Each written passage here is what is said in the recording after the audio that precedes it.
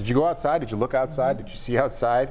One of the first beautiful days of the season, right? Western New Yorkers sure taking advantage of a Friday with incredible weather. Yeah, and while you were inside working, I was outside Yes. doing laps I'm over glad. and over again. Good so for thanks for You got it, yeah. doing it all today. we sent senior reporter Eileen Buckley out to find the signs of summertime.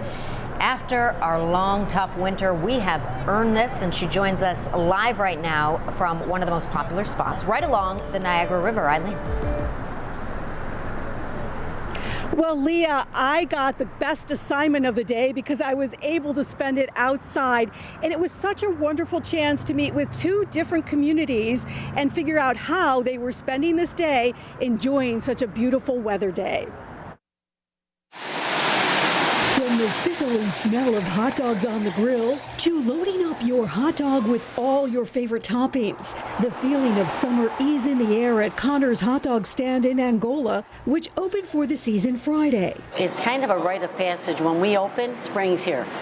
So I think they kind of want us to open to say spring is here. Co owner Karen Eckerson tells me she's thrilled to reopen on such a beautiful day. And to open on a sunny day, that is such a bonus. We've had days we've opened that were snowing many, many times. The smell of hot dogs, cheeseburgers, and homemade french fries calling you to the stand. The sound of the birds. I heard the birds singing this morning right out in the tree. I don't know Judy they're Cole and daughter sound. Emily of Silver Creek stop by for lunch. We're celebrating in style, the way summer should be. I am not a cold weather girl. I live in the wrong state. So I am absolutely thrilled. I feel like I won the jackpot picking today for my vacation day. And another mom was out with her two young children to enjoy lunch. So this is her first time here. She seems like she's happy. It's a break. It's so warm out. You're ready. You're ready for summer. It's coming. Yeah. And from our friends in Angola to our friends on the west side, they're here fishing under the great sunshine on this absolutely gorgeous day in Buffalo. They call him white perch. At the foot of West Ferry along the Niagara River, Cheeto Cologne of Buffalo tells me it's a perfect day to cast a line. I give it a 10.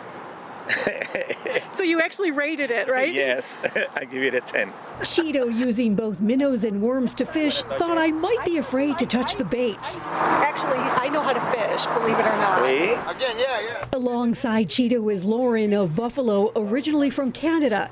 He's glad to feel the warmth, but still calls himself a snow dog. I like coming down here. It's, it's relaxing. You learn patience.